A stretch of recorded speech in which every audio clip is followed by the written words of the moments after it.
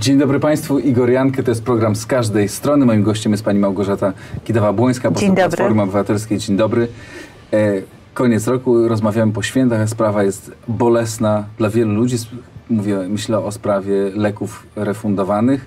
Nagle zobaczyliśmy listę, no, która zawiera jakieś bardzo poważne e, braki. Nawet wybitni lekarze mówią, że jest ona fatalna. Jak to mogło, jak mogło Znaczy powiem zawsze, kiedy mówimy o lekach, które mają być refundowane, rozpoczyna się ta e, dyskusja, batalnia. Mówią o tym i aptekarze, mówią firmy farmaceutyczne, mówią lekarze. Najważniejsze, żebyśmy w tym wszystkim nie zapomnieli o pacjencie, bo on się musi czuć bezpieczny. Musi no, ale właśnie, on się ale czuje niebezpiecznie. Bo czyta, bo czyta, słyszy, że może coś złego się dla niego stać. Ja Podejrzewam, że zabrakło tutaj jednej rzeczy. Może trzeba było wcześniej pacjentom wytłumaczyć. Nie, nie lekarzom, nie firmom, ale pacjentom.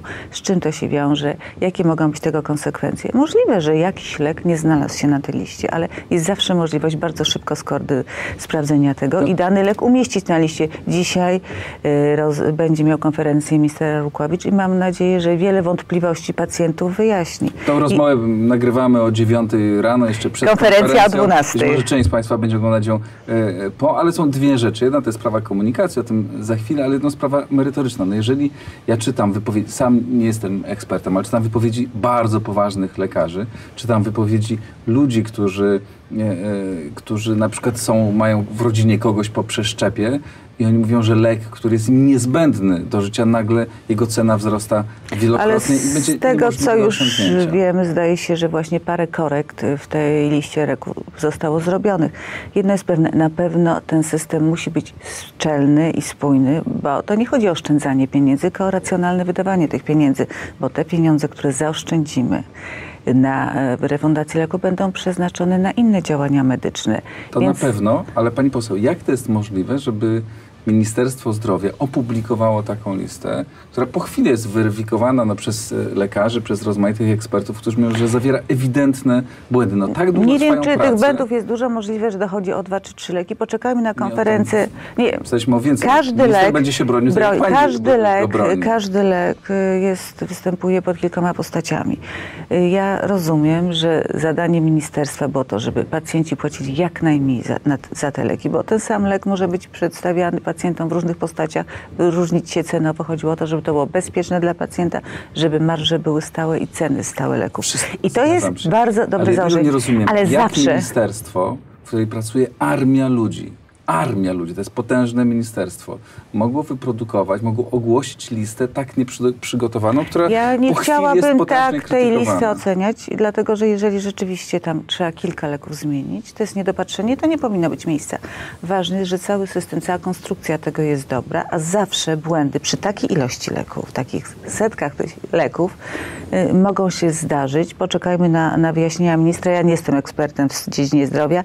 Ja rozumiem mechanizm tego racjonalnego e, refundacji leków. Czy Pani zdaniem ten błąd, te błędy zostały popełnione już za rządów obecnego ministra, czy to jest jeszcze spadek po... Nie wiem, nie wiem, nie wiem jak to, nie wiem jak, y, dlaczego te błędy powstały i w jakiej one są skali, bo my ciągle spekulujemy, prawda, ciągle opieramy się na opiniach lekarzy, części no, farmaceutów, ale... Y, ja zawsze przypominam sobie wtedy sprawę szczepionek i to, co się działo, jak wszyscy od czci odwiary odzwali minister Kopacz. Okazało się, że miała rację, że... Pa, pewne, o nie, pani nie, minister, to jest, to jest nieuprawnione porównanie. To była zupełnie inna historia. Nie, dlatego, że my rozmawiamy o lekach. Ani pan, ani ja nie wiemy, czy dany lek ma jakieś leki zastępcze, czy są robione przez innych. Nie wiemy tego. Poczekajmy spokojnie na konferencję. Ale ja czytałem jak my, wypowiedzi y, ekspertów, bardzo poważnych autorytetów medycznych, którzy mówili ewidentnie, że tam jakieś leki ale, muszą no, się ale, znaleźć. Jak te, ale, nie rozumiem, ale nie, ja się zgodziłam, że paru mhm. leków nie było i tutaj jest pełna okay. zgoda. Ja tego nie bronię. Ale y, nie, nie chciałabym straszyć pacjentów i nie chciałabym, żebyśmy mówili, że to wszystko jest źle, bo to trzeba było zrobić, to trzeba uporządkować trzeba też o tym y, dobrze, w jasny ale, sposób ale, informować. informować. Ale proszę zwrócić uwagę, jest dyskusja, jest debata i pewne leki, których nie było na tej liście, znajdują się. Czyli to jest bardzo zdrowe działanie, że monitoruje się i sprawdza się na bieżąco, czy wszystko dobrze funkcjonuje, ale czy nie. ministra nie słychać, nie słychać żadnego oficjalnego głosu ze strony, ze strony rządu. Ja przepytuję panią, pani nie jest ekspertem, i to nie jest mój zarzut, broń Boże, ale ze strony ministerstwa od kilku dni nic nie Ale dzisiaj słyszymy. jest ta konferencja i też dobrze, żeby minister był do tej konferencji dobrze przygotowany i miał wszystkie hmm. wyliczenia, wszystkie wyjaśnienia dla pacjentów. E, nikt, słyszałem, czytałem też wczoraj na Twitterze takie głosy. No tak, nie ma pieniędzy na leki, nie będzie pieniędzy na leki niezbędne e, ludziom, którzy są chorzy, którzy, którzy przeszli przeszczepy, a mają być pieniądze na dofinansowanie in vitro. Na razie o pieniądzach na dofinansowanie in vitro nikt nie mówi. Na razie borykamy się z uporządkowaniem strefy in vitro i spraw związanych z bijatyką, bo ja przypominam, że Polska jest jedynym chyba krajem już w Europie, gdzie jest wolna, właściwie wolna amerykanka nie ma żadnych uregulowań, a to powinno być zrobione z, z paru względów.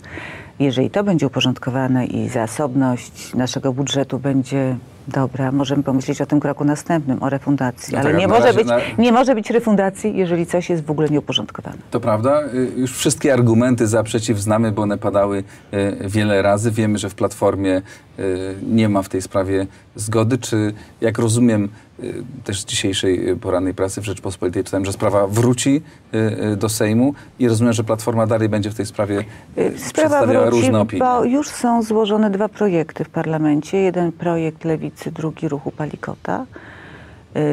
Mój zespół przez wiele miesięcy pracował, mieliśmy przygotowany projekt, który ja już teraz wiem po pracach podkomisji, musi mieć parę zmian, nie co do zasad, tylko zasad za opisania definicji czy pewnych y, sposobów zapisywania prawnego, więc chcemy to poprawić. I wróci też pewnie projekt przygotowany Prawdopodobnie, przez ale czy mój projekt wróci, czy Jarka Gowina, no to musi przejść przez, władz, przez y, nasz klub, bo to klub podejmuje decyzję, czy projekt poselski trafia do laski marszałkowskiej. I kto dzisiaj jest silniejszy w tym To nie o to silniejszy, bo no, wszyscy my tak naprawdę... Ktoś w, musi wygrać. Wygrywa silniejszy, a nie Ważne jest to, żeby sprawy in vitro moim zdaniem uporządkować i ja bym chciała, żeby to była metoda stosowana bezpiecznie dla matki, dla dziecka i żeby zarodki były chronione. Dziękuję bardzo. Pani poseł Małgorzata Kidawa-Błońska była naszym gościem.